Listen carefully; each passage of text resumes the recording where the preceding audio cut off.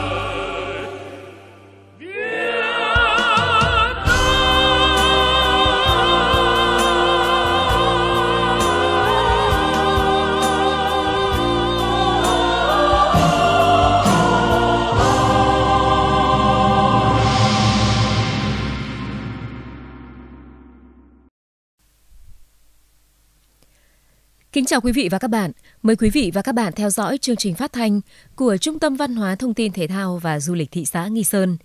Trong chương trình hôm nay, chúng tôi xin chuyển đến quý vị và các bạn những nội dung chính sau đây.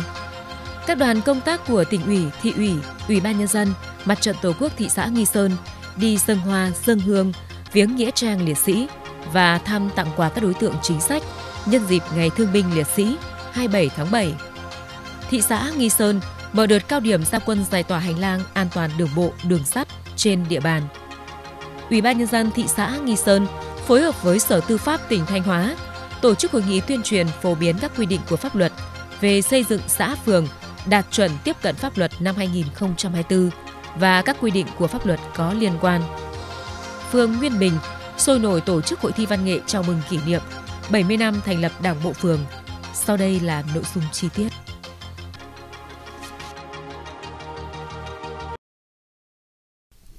Thưa quý vị và các bạn, nhân kỷ niệm 77 năm Ngày Thương binh Liệt sĩ 27 tháng 7 năm 1947, 27 tháng 7 năm 2024.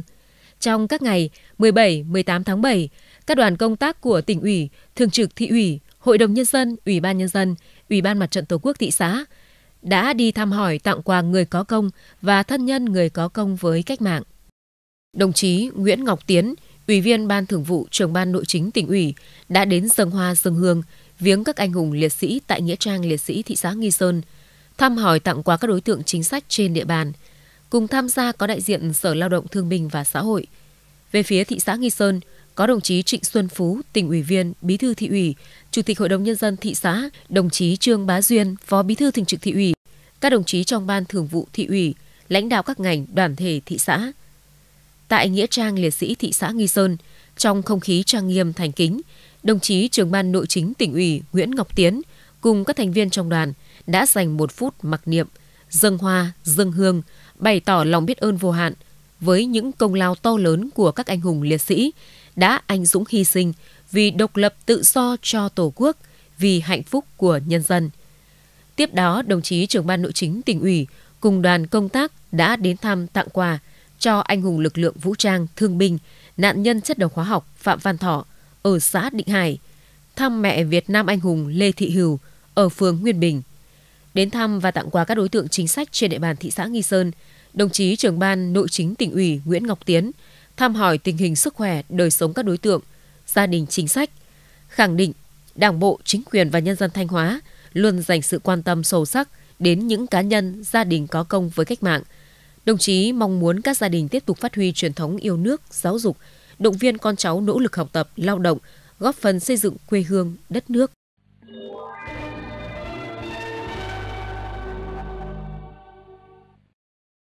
Đoàn công tác của thị ủy, hội đồng nhân dân, ủy ban nhân dân, ủy ban mặt trận tổ quốc thị xã do đồng chí Trịnh Xuân Phú, tỉnh ủy viên, bí thư thị ủy, chủ tịch hội đồng nhân dân thị xã làm trưởng đoàn đã đi thăm hỏi tặng quà các gia đình chính sách tại phường Xuân Lâm và Trúc Lâm. Cùng đi có đồng chí Trịnh Tiến Dũng, thị ủy viên, phó chủ tịch Ủy ban nhân dân thị xã, đại diện văn phòng thị ủy, phòng lao động thương binh và xã hội, mặt trận tổ quốc thị xã và đảng ủy chính quyền các xã sở tại. Đoàn đã đến thăm ông Phạm Xuân Lâm, thương binh 4 trên 4 và bà Lê Thị Doang, vợ liệt sĩ ở tổ dân phố Vạn Xuân Thành. Ông Nguyễn Văn Trung, thương binh 4 trên 4 ở tổ dân phố Dự Quần, phường Xuân Lâm. Ông Lê Xuân Mại, thương binh 4 trên 4 và ông Lê Xuân Ngoạn, thương binh 4 trên 4, ở tổ dân phố Đại Thủy, phường Trúc Lâm. Tại những nơi đến thăm, đồng chí Trịnh Xuân Phú, bí thư thị ủy và các đồng chí trong đoàn đã ân cần thăm hỏi sức khỏe, đời sống, bày tỏ lòng biết ơn sâu sắc trước những mất mát hy sinh của các gia đình trong các cuộc đấu tranh giải phóng dân tộc, bảo vệ Tổ quốc, đồng thời động viên các thương binh, gia đình liệt sĩ luôn sống vui, sống khỏe là chỗ dựa vững chắc – tiếp tục động viên con cháu ra sức học tập, công tác, xây dựng quê hương ngày càng phát triển giàu mạnh.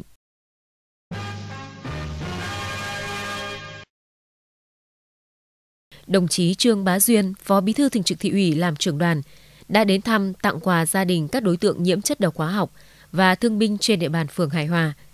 Cùng đi có đồng chí Nguyễn Văn Long, Ủy viên Ban Thường vụ, Trưởng ban Dân vận Thị ủy, Chủ tịch Ủy ban Mặt trận Tổ quốc thị xã – các đồng chí là bí thư thị đoàn, lãnh đạo phòng lao động thương binh và xã hội thị xã, hội nông dân, cấp ủy chính quyền phường Hải Hòa.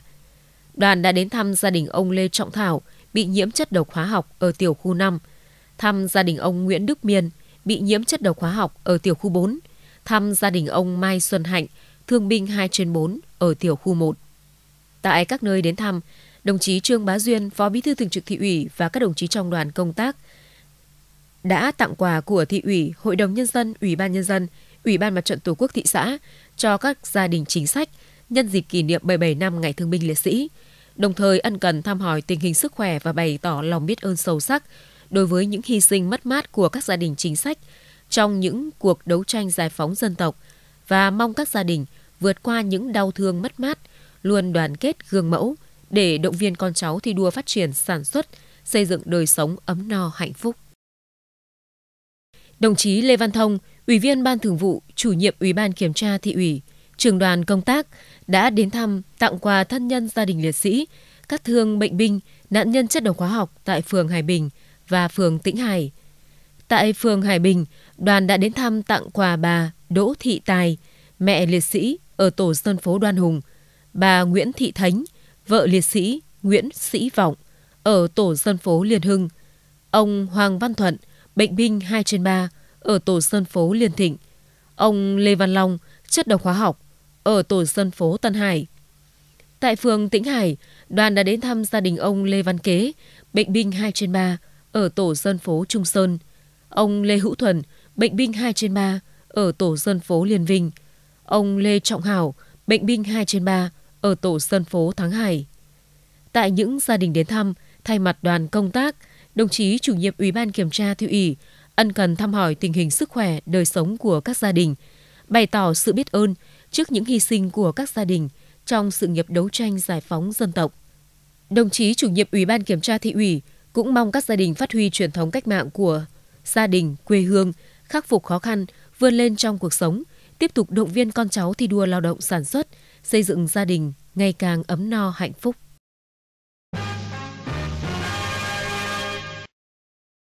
Đồng chí Mai Sĩ Lân, Ủy viên Ban Thường vụ Thị ủy, Phó Chủ tịch Ủy ban nhân dân thị xã đã đi thăm tặng quà cho các gia đình bị nhiễm chất độc hóa học, thương binh, bệnh binh, thân nhân liệt sĩ trên địa bàn phường Hải An và phường Nguyên Bình. Nhân kỷ niệm 77 năm Ngày Thương binh Liệt sĩ 27 tháng 7 năm 1947, 27 tháng 7 năm 2024.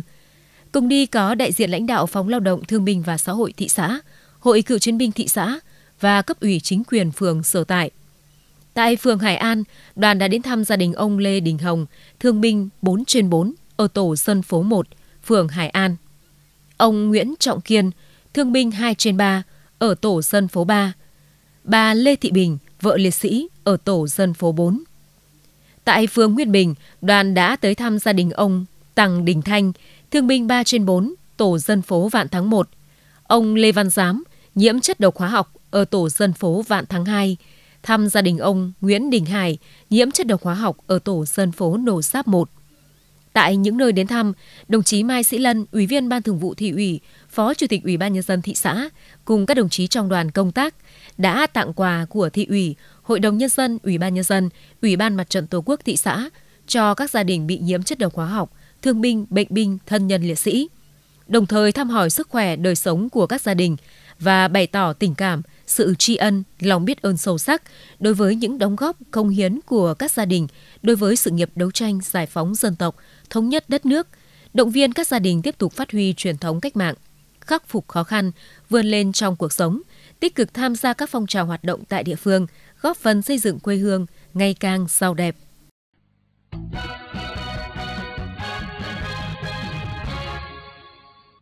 Ngày 17 tháng 7, đoàn công tác của Công đoàn Cơ quan Thị ủy, Khối đoàn thể và Hội Liên hiệp Phụ nữ thị xã do đồng chí Lê Thị Hường, Thị ủy viên, Chủ tịch Hội Liên hiệp Phụ nữ thị xã, Chủ tịch Công đoàn Cơ quan Thị ủy, Khối đoàn thể đã đi thăm hỏi tặng quà thân nhân các gia đình liệt sĩ, thương bệnh binh và cựu thanh niên sung phong. Cùng đi có đại diện Ủy ban Kiểm tra Thị ủy, Ủy ban Mặt trận Tổ quốc thị xã và chính quyền sở tại. Đoàn đã đến thăm hỏi, bốn gia đình thân nhân liệt sĩ của đoàn viên công đoàn cơ quan thị ủy khối đoàn thể tại phường Hải Ninh, Hải Hòa và xã Thanh Sơn.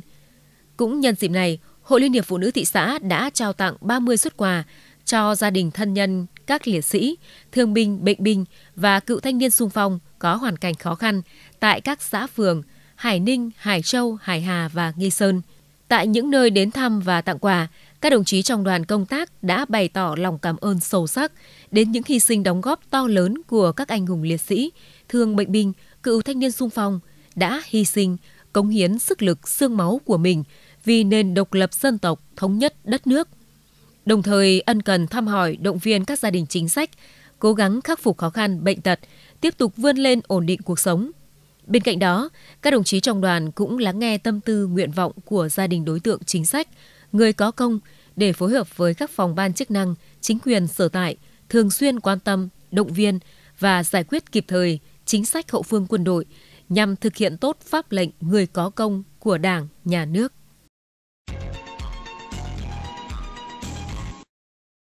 Thưa quý vị và các bạn, chiều ngày 17 tháng 7, Ủy ban nhân dân thị xã Nghi Sơn phối hợp với Sở Tư pháp tỉnh Thanh Hóa tổ chức hội nghị tuyên truyền phổ biến các quy định của pháp luật về xây dựng xã phường đạt chuẩn tiếp cận pháp luật năm 2024 và các quy định của pháp luật có liên quan.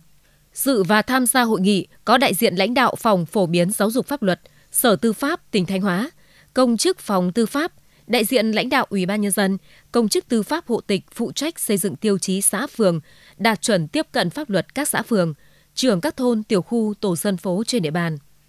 Thời gian qua, công tác xây dựng xã phường đạt chuẩn tiếp cận pháp luật trên địa bàn thị xã Nghi Sơn luôn được Sở Tư pháp tỉnh Thanh Hóa, thị ủy, Ủy ban nhân dân thị xã quan tâm chỉ đạo, triển khai thực hiện một cách hiệu quả,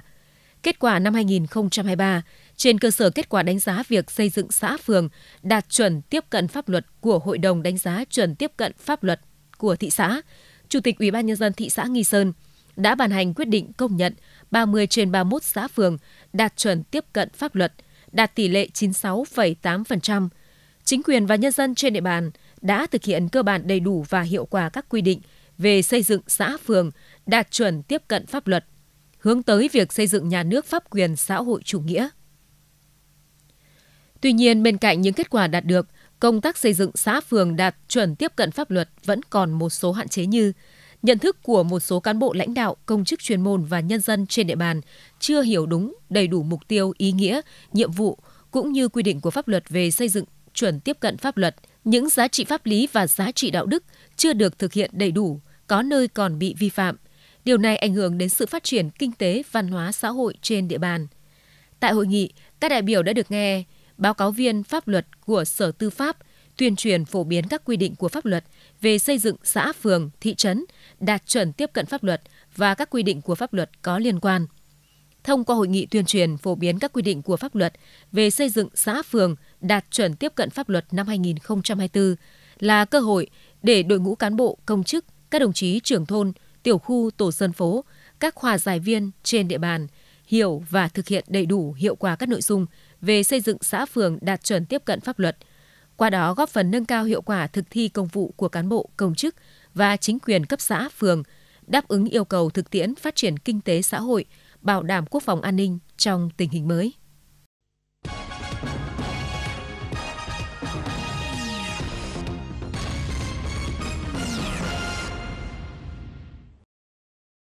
Thưa quý vị và các bạn, ngày 17 tháng 7, Ban An toàn Giao thông thị xã Nghi Sơn và 31 xã phường đã tổ chức đợt cao điểm giao quân giải tỏa hành lang an toàn đường bộ đường sắt, xử lý việc lấn chiếm lòng lề đường, vỉa hè, đảm bảo trật tự an toàn giao thông trên địa bàn thị xã. Trong đợt giao quân này, Ban An toàn Giao thông thị xã và các xã phường đồng loạt giao quân giải tỏa tất cả các trường hợp vi phạm hành lang an toàn giao thông đường bộ, đường sắt trên các tuyến đường,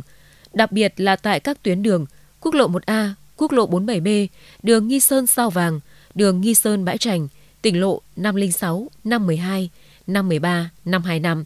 Các tuyến đường phân khu, khu kinh tế Nghi Sơn, các tuyến đường trục chính tại các phường xã, tập trung giải tỏa các vị trí khu dân cư, đường cong, ngã ba, ngã tư, các điểm kinh doanh buôn bán họp chợ cóc, các hộ gia đình còn tái lấn chiếm hành lang an toàn đường bộ và các điểm có nguy cơ mất an toàn giao thông, giải tỏa các vị trí kinh doanh vật liệu xây dựng, lều quán, bắn máy, lấn chiếm, sử dụng đất của đường bộ, làm bãi sửa xe ô tô, xe máy, cắt cây, tỉa cành che khuất tầm nhìn, có nguy cơ gãy đổ gây mất an toàn giao thông. Thực hiện biện pháp ngăn chặn chống tái lấn chiếm. Để đạt được kết quả đề ra, Ban An toàn giao thông thị xã Nghi Sơn yêu cầu Ủy ban nhân dân các phường, xã huy động tối đa các lực lượng cán bộ chủ chốt, đoàn thể, đoàn viên thanh niên, hội phụ nữ, lực lượng công an, dân quân tự vệ, đồng loạt gia quân tổ chức tuyên truyền đến nhân dân hưởng ứng tham gia tích cực hiệu quả, tổ chức lực lượng tiến hành giải tỏa hành lang an toàn giao thông, tháo rỡ các biển quảng cáo, mái che, nhà tạm, các loại cổng trào lấn chiếm hành lang an toàn giao thông, lòng lề đường, vệ sinh các tuyến đường khu phố. Các thành viên Ban an toàn giao thông thị xã được phân công phụ trách tại các địa bàn, thực hiện nghiêm công tác chỉ đạo, đôn đốc và kiểm tra công tác triển khai của các địa phương, tăng cường công tác tuyên truyền, tổ chức kiểm tra, cương quyết xử lý nghiêm các trường hợp cố tình tái vi phạm lấn chiếm hành lang, an toàn giao thông đường bộ đường sắt. Đợt cao điểm giao quân giải tỏa hành lang an toàn đường bộ đường sắt, xử lý việc lấn chiếm lòng lề đường vỉa hè, đảm bảo trật tự an toàn giao thông trên địa bàn thị xã, được thực hiện từ ngày 17 tháng 7 đến ngày 24 tháng 7 năm 2024. Thông qua đợt cao điểm nhằm nâng cao nhận thức và trách nhiệm của người đứng đầu các cấp các ngành, tổ chức chính trị xã hội và nhân dân về bảo đảm trật tự an toàn giao thông – tăng cường công tác quản lý nhà nước về đảm bảo trật tự an toàn giao thông, bảo vệ kết cấu hạ tầng giao thông, chống lấn chiếm hành lang an toàn giao thông đường bộ và đường sắt, góp phần giảm thiểu tai nạn giao thông trên địa bàn thị xã.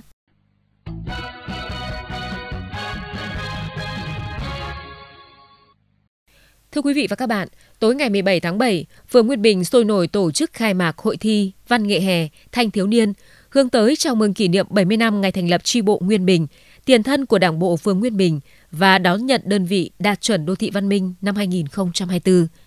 Sự khai mạc có lãnh đạo cấp ủy, chính quyền, các tổ chức chính trị xã hội, các cơ quan, đơn vị, tổ dân phố và đông đảo nhân dân trên địa bàn phường đến xem và cổ vũ. Tham gia hội thi văn nghệ hè thanh thiếu niên phường Nguyên Bình năm 2024, với sự tham gia của 370 các bạn đoàn viên thanh niên, các cháu thiếu niên, nhi đồng, đến từ 10 tri đoàn, tổ dân phố trên địa bàn phường – Hội thi gồm 20 tiết mục hát múa được gian dựng công phu, mang âm hưởng ca ngợi Đảng, Bác Hồ, ca ngợi quê hương đất nước. Nhiều tiết mục đã dựng lại nhiều hoạt cảnh hào hùng của dân tộc để thế hệ trẻ hôm nay luôn giữ gìn và phát huy, thu hút đông đảo các bạn trẻ, bà con nhân dân đến xem và cổ vũ. Hội thi văn nghệ hè thanh thiếu niên hướng tới chào mừng kỷ niệm 70 năm thành lập Đảng bộ phường Nguyên Bình – và đón nhận đơn vị đạt chuẩn đô thị văn minh năm 2024 đã tạo không khí vui tươi phấn khởi, mang đến cho người xem một không gian âm nhạc sôi động, ấm áp, tràn đầy khí thế. Qua đó nhằm tạo sân chơi lành mạnh, bổ ích cho thanh thiếu niên, nhi đồng trong dịp hè, khích lệ động viên nhân dân hăng hái thi đua lao động sản xuất, thực hiện thắng lợi các chỉ tiêu phát triển kinh tế xã hội của địa phương.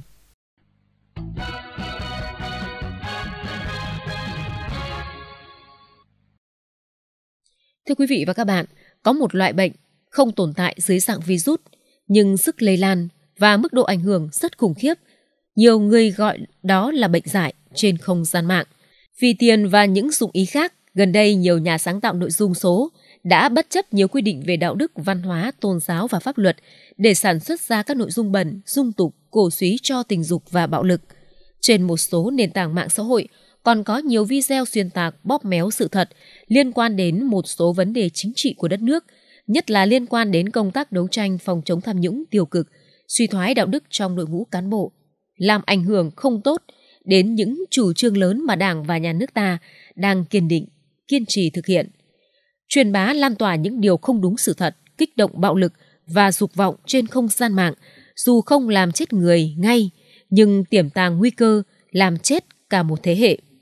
Bởi ở độ tuổi vị thành niên, các bạn trẻ là đối tượng tiếp cận với những nội dung này rất nhiều, đã bắt đầu có dấu hiệu dậy thì và có sự tác động của hormone tình dục,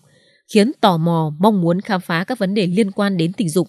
Nếu không được giáo dục giới tính một cách hiệu quả, giới trẻ sẽ xuất hiện những suy nghĩ lệch lạc, từ đó dẫn đến những hành vi tình dục không đúng đắn.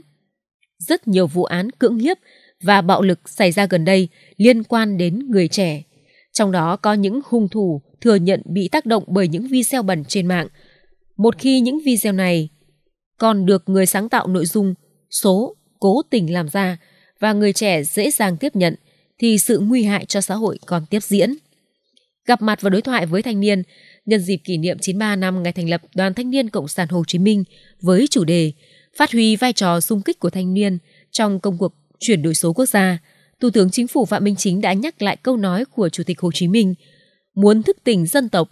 phải thức tỉnh thanh niên, vì thanh niên là một bộ phận quan trọng của dân tộc. Nước nhà thịnh hay suy, yếu hay mạnh, một phần là do thanh niên. Thanh niên là chủ nhân tương lai của đất nước, để từ đó đặt ra yêu cầu đẩy mạnh hơn công cuộc chuyển đổi số. Bởi theo Thủ tướng, để công cuộc chuyển đổi số thành công, đòi hỏi người trẻ không chỉ có kiến thức kỹ năng để làm chủ công nghệ mà hơn thế cần phải có một cái đầu lạnh, trái tim nhiệt huyết, biết phân tích, biết cái gì cần tiếp nhận, cái gì cần lên án, đấu tranh và đào thải, để môi trường mạng trong lành sạch sẽ hơn, đời sống ngày càng trở nên tốt đẹp. Người trẻ không chỉ đồng hành cùng bạn trẻ trong chuyển đổi số, đấu tranh với những hành vi lệch lạc trên không gian mạng, đưa bạn trẻ trở lại quỹ đạo, người trẻ còn phải đóng vai trò tiền phong, căn cốt trong các lực lượng đấu tranh phản biện xã hội – để cả xã hội cùng thức tỉnh, thoát ra khỏi những u mê cạm bẫy trên không gian mạng. Nhiều mô hình tuổi trẻ gắn với công nghệ và nhóm phản biện trên mạng xã hội đã được người trẻ thiết lập. Mong rằng những người trẻ sẽ mạnh mẽ hơn, quyết tâm hơn, là chủ thể tiên phong tấn công vào một mặt trận khó khăn và phức tạp để ngăn lại căn bệnh dại đang lây lan trên không gian mạng.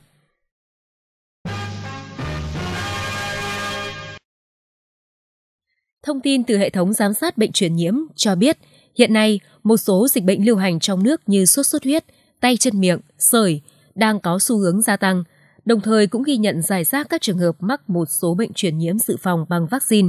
Do đó, Bộ Y tế vừa ban hành công điện yêu cầu các địa phương, đơn vị tăng cường công tác phòng chống dịch bệnh mùa hè năm 2024. Bộ Y tế đề nghị các địa phương, đơn vị ngành y tế chủ động triển khai các giải pháp phòng chống dịch bệnh trên địa bàn – nhất là các bệnh truyền nhiễm thường xảy ra trong giai đoạn mùa hè. Tăng cường giám sát, phát hiện sớm các trường hợp mắc bệnh, các ổ dịch tại cộng đồng và các cơ sở y tế. Thúc đẩy triển khai tiêm chủng thường xuyên cho các đối tượng thuộc chương trình tiêm chủng mở rộng, đảm bảo an toàn hiệu quả, ra soát tổ chức tiêm bù tiêm vét cho những đối tượng chưa được tiêm vaccine phòng bệnh, chưa tiêm đủ mũi, vận động các gia đình đưa trẻ em đi tiêm chủng vaccine đầy đủ đúng lịch. Đẩy mạnh truyền thông giáo dục sức khỏe tổ chức các chiến dịch tuyên truyền vệ sinh cá nhân và vệ sinh nơi sinh hoạt, tuyên truyền về các biện pháp phòng chống dịch bệnh mùa hè như đảm bảo an toàn vệ sinh thực phẩm, ăn chín uống sôi, phát động chiến dịch vệ sinh môi trường, rửa tay bằng xà phòng. Trong công điện, Bộ Y tế cũng đề nghị các tỉnh, thành phố giả soát, đảm bảo sẵn sàng công tác hậu cần, thuốc, thiết bị y tế, đáp ứng yêu cầu phòng chống dịch theo phương châm 4 tại chỗ.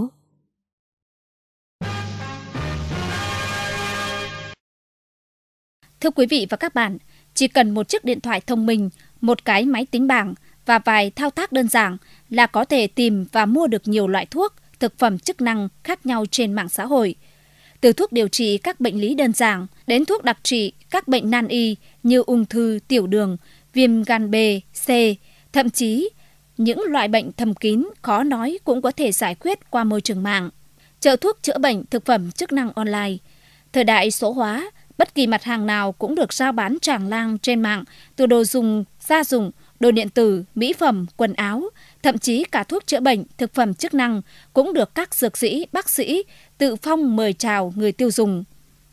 Vốn bị bệnh tiểu đường lâu năm, ông Hát đã nghe theo quảng cáo trên mạng về một loại thuốc gia truyền ba đời, chỉ uống một liệu trình sẽ khỏi. Người ta vẫn nói có bệnh thì phải vái tứ phương, Tôi cũng không ngoại lệ sau khi nghe quảng cáo về liệu trình, được bác sĩ gọi điện tư vấn nhiệt tình, bắt bệnh đầu chuẩn đấy nên tin tưởng, xuống tiền, mua luôn một liệu trình với 10 hộp thuốc trị giá 4 triệu 499 nghìn đồng để điều trị bệnh tiểu đường. Sau khi nhận được thuốc, tôi nhận thấy bao bì trông khác so với hình ảnh cơ sở quảng cáo trên mạng. Khi sử dụng, tôi thấy không có tác dụng như những lời bác sĩ quảng cáo, ngược lại còn cảm thấy có cảm giác lâm râm đau dạ dày. Tôi đã mang thuốc đến bác sĩ kiểm tra và họ xác nhận đó là thuốc giả. Liên hệ với cơ sở tôi đặt mua thì không nhận được hồi âm, điện thoại cũng ngoài vùng phủ sóng. Các từ khóa mua thuốc online, quầy thuốc online uy tín tiện lợi, mua thuốc online chính hãng, hàng nội địa sách tay, Google kê đơn thuốc, thu hút đông đảo người tiêu dùng quan tâm. Đặc biệt, những thuốc được quảng cáo là hỗ trợ điều trị ung thư, thực phẩm chức năng, thuốc giảm cân cũng được đăng bán tràn lan trên mạng như Pocodan Nhật Bản, nọc bọ cạp xanh Cuba, Biolipsin và các loại vitamin bổ sung cho trẻ được nhiều người quan tâm chốt đơn mà không hỏi về giấy tờ, nguồn gốc và xuất xứ. Là mẹ bỉm sữa Gen Z, bạn L bộc bạch giờ thay vì lựa chọn cách mua thuốc truyền thống như ra quầy thuốc đến bệnh viện, cơ sở chuyên bán lẻ dược liệu, thuốc dược liệu, thuốc cổ truyền, người tiêu dùng lại tìm đến mạng xã hội, tuy tiện lợi nhưng để lựa chọn mua thuốc cho gia đình theo hình thức online này quả thực là quá rủi ro. Lời quảng cáo có thể hấp dẫn, công dụng được thần thánh hóa, nhưng rồi liệu nếu xảy ra biến chứng, tác dụng ngược lại, ai sẽ là người chịu trách nhiệm? Hiện nay có hàng loạt bác sĩ, dược sĩ online khiến người tiêu dùng như chúng tôi thực sự rất hoang mang. Mình khuyên mọi người nên cẩn thận và kiểm tra kỹ lưỡng trước khi mua thuốc, thực phẩm chức năng online. Nên mua từ những nguồn uy tín có xuất xứ rõ ràng và tốt nhất nên trực tiếp đến các hiệu thuốc, đặc biệt là bệnh viện để mua, đặc biệt là các loại thuốc, thực phẩm chức năng cho mẹ và trẻ em. Cần có chế tài đủ mạnh để săn đè,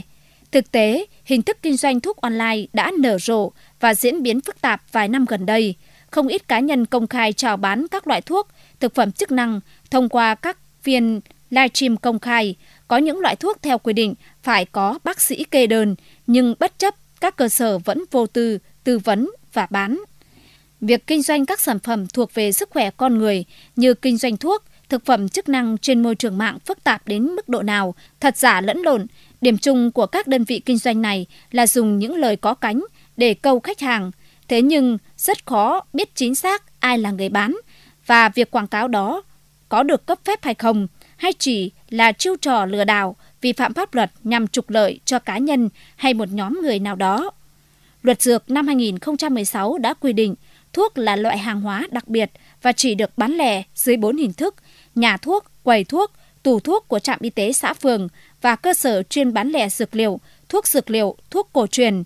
Đây là loại hình kinh doanh có điều kiện, phải được cơ quan y tế thẩm định, kiểm tra, phải được thực hành tốt tiêu chí bán lẻ thuốc. Trong đó, mỗi nhà thuốc bắt buộc phải có dược sĩ phụ trách chuyên môn, có chứng chỉ hành nghề dược, có nhân viên bán thuốc, có cơ sở vật chất trang thiết bị và quy định để đảm bảo các hoạt động chuyên môn. Để tránh tình trạng tiền mất tật man, ngành y tế khuyến cáo người dân không nên tìm mua các loại thuốc, thực phẩm chức năng trên mạng. Khi có những bất ổn về tình trạng sức khỏe, nên đến các cơ sở khám chữa bệnh để được thăm, khám và có cách điều trị phù hợp với tình trạng sức khỏe của bản thân.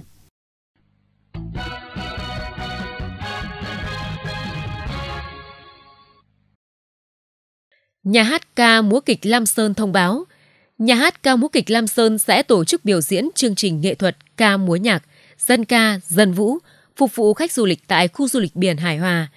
Đây là chương trình nghệ thuật phát triển du lịch năm 2024, phục vụ khách du lịch tại biển Hải Hòa, thị xã Nghi Sơn.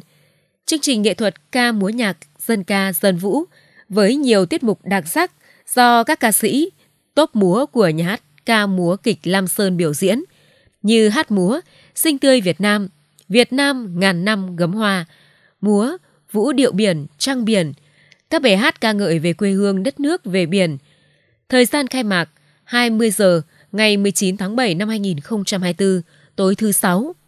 20 giờ ngày 19 tháng 7 năm 2024, tối thứ Sáu. Địa điểm, khu du lịch biển Hải Hòa, thị xã Nghi Sơn. Mời quý vị và các bạn đón xem.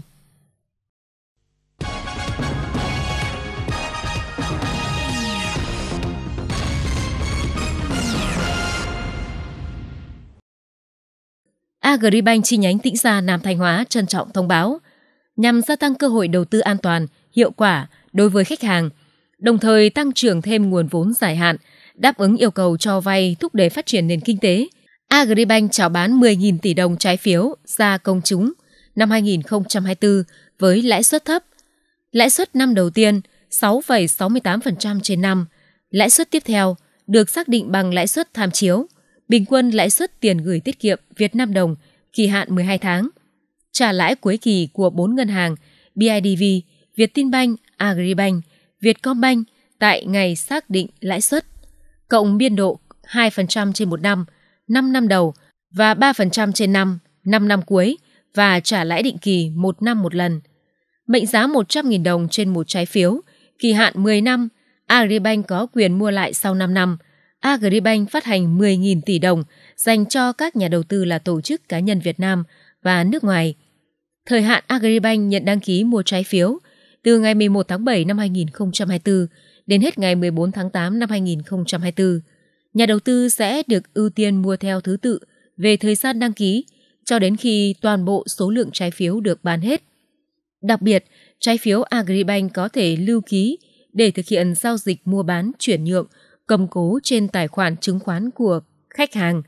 sử dụng làm tài sản đảm bảo để vay Agribank với lãi suất hấp dẫn, sinh lời vượt trội, trái phiếu uy tín được lựa chọn và phân phối bởi Ủy ban Chứng khoán Nhà nước.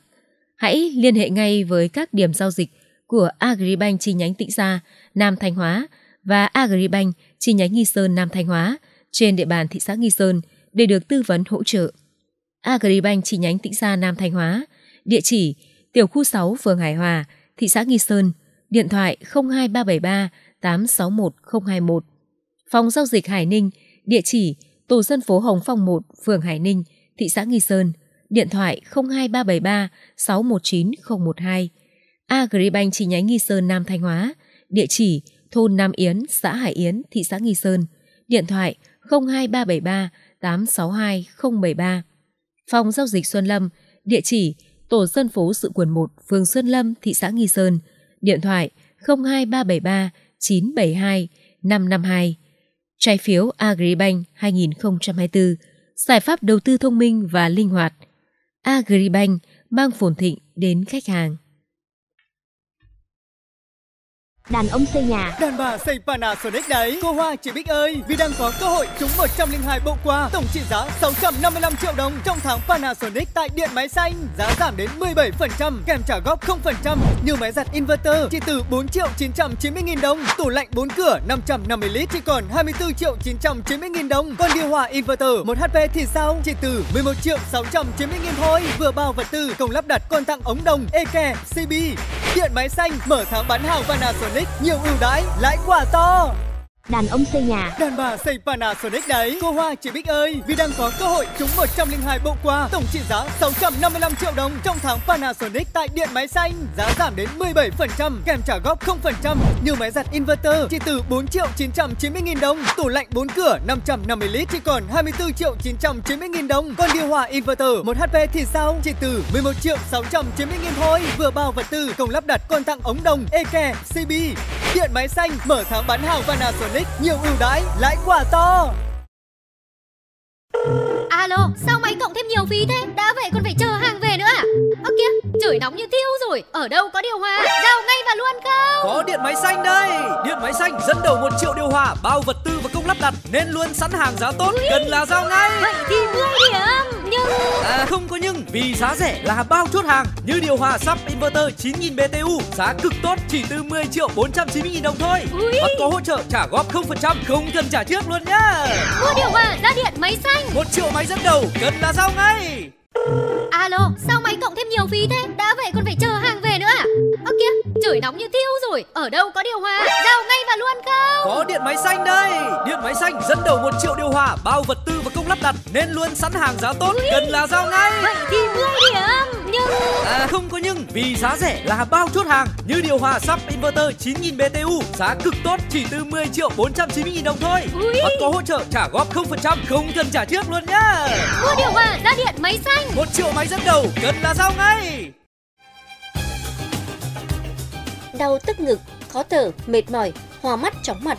Rất có thể đó là những dấu hiệu của bệnh lý đột quỵ, tim mạch. Nếu gặp bất kỳ dấu hiệu hoặc triệu chứng nào trên, hãy đến ngay bệnh viện đa khoa hợp lực để được thăm khám và điều trị kịp thời. Trung tâm can thiệp bệnh viện đa khoa hợp lực sử dụng hệ thống chụp mạch số hóa khóa nền tiên tiến, được biết đến là tiêu chuẩn vàng trong chẩn đoán và điều trị các bệnh liên quan đến tim mạch, mạch não, mạch tạng. Người tham gia bảo hiểm y tế khi điều trị nội trú trái tuyến tại đây được hưởng đầy đủ quyền lợi và mức hưởng như điều trị đúng tuyến, không cần giấy tờ chuyển tuyến, tiết kiệm thời gian, chi phí cho người bệnh. Bệnh viện Đa khoa Hợp lực đã triển khai hệ thống trục mạch số hóa xóa nền DSA từ năm 2020, đã can thiệp cứu sống hàng nghìn ca bệnh với đội ngũ y bác sĩ giàu kinh nghiệm được đào tạo và chuyển giao công nghệ từ các chuyên gia đầu ngành, luôn sẵn sàng thăm khám và điều trị 24 trên 24 giờ tất cả các ngày trong tuần. Mọi thông tin chi tiết xin vui lòng liên hệ số điện thoại 0975 1900 9012.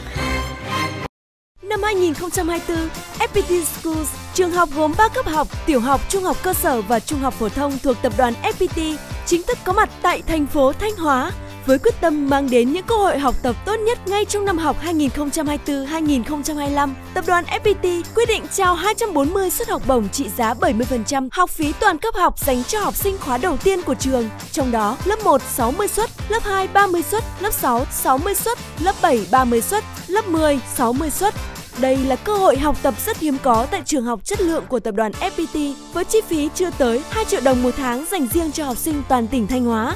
Các suất học bổng sẽ được cấp cho học sinh theo thứ tự thời gian hoàn thiện đầy đủ thủ tục nhập học theo quy định của nhà trường cho tới khi hết chỉ tiêu học bổng cho từng khối lớp. Do số lượng có hạn, phụ huynh học sinh nhanh chóng đăng ký nhận học bổng trực tiếp tại văn phòng tuyển sinh trường tiểu học, trung học cơ sở và trung học phổ thông FPT, địa chỉ đường Trịnh Kiểm, phường Đông Vệ, thành phố Thanh Hóa. Hotline hỗ trợ 0237 730 2636. Lái xe mới, bật mốt xanh hứng khởi cùng VinFast mùa hè này. Chương trình trả góp 0% dành cho khách hàng mua trả góp, thời hạn từ 6 tháng với mức trả trước chỉ từ 30% giá trị xe. Ngoài ra, khách hàng sẽ được tặng thêm 1 triệu đồng cho các dòng xe Evo 200, Evo 200 Line và Felix S, 2 triệu đồng cho xe Clara S, Vento S và Theon S. Với khách hàng mua trả thẳng, nhận ngay ưu đãi 2 triệu đồng cho các dòng xe Evo 200, Evo 200 Lite và Felix S và 4 triệu đồng đối với các dòng xe Clara S, Vento S và Theon S. Đặc biệt, tất cả khách hàng mua xe còn có cơ hội quay số may mắn với tổng giải thưởng là 60 xe VinFast gồm 10 chiếc Vento S, mỗi xe trị giá 50 triệu đồng, 20 Felix S, mỗi xe trị giá 27 triệu đồng và 30 Evo 200, mỗi xe trị giá 18 triệu đồng hãy liên hệ với showroom VinFast hoặc truy cập website để sở hữu xe máy điện VinFast ngay hôm nay. Chương trình ưu đãi chỉ diễn ra đến 31 tháng 8 năm 2024. Vì vậy hãy nhanh tay để không bỏ lỡ cơ hội vàng ngàn ưu đãi này. Chương trình phát thanh của Trung tâm Văn hóa Thông tin Thể thao và Du lịch thị xã Nghi Sơn đến đây là hết. Chịu trách nhiệm nội dung và chỉ đạo sản xuất Cao Văn Lâm, biên tập Văn Tuấn, kỹ thuật truyền dẫn phát sóng Trung Luyến. Cảm ơn sự quan tâm theo dõi của quý vị và các bạn. Xin kính chào và hẹn gặp lại.